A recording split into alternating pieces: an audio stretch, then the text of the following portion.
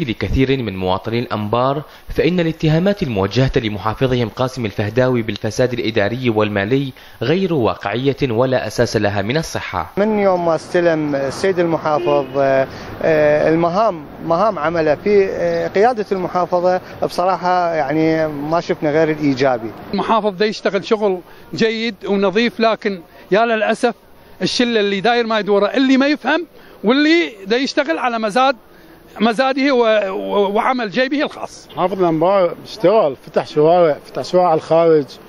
آه نفه المحافظة شوي فتح الشارع 60 فتح غيره اشتغل يبني عماير. فيما يشير البعض إلى أن الخلل يكمن فيما يحيط بالمحافظ مؤكدا براءته من التهم الموجهة إليه.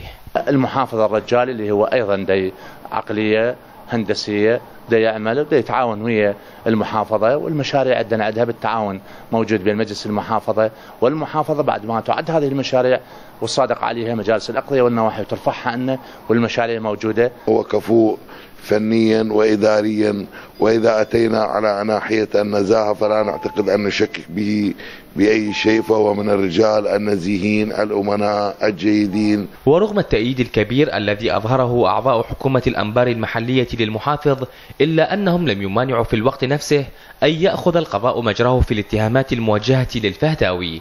المسؤول الوحيد في الأنبار الذي تعرض منذ تسلمه للمنصب وحتى الآن إلى أربع محاولات اغتيال. كانت أشدها عام 2009 حين فقد على إثرها إحدى ذراعيه.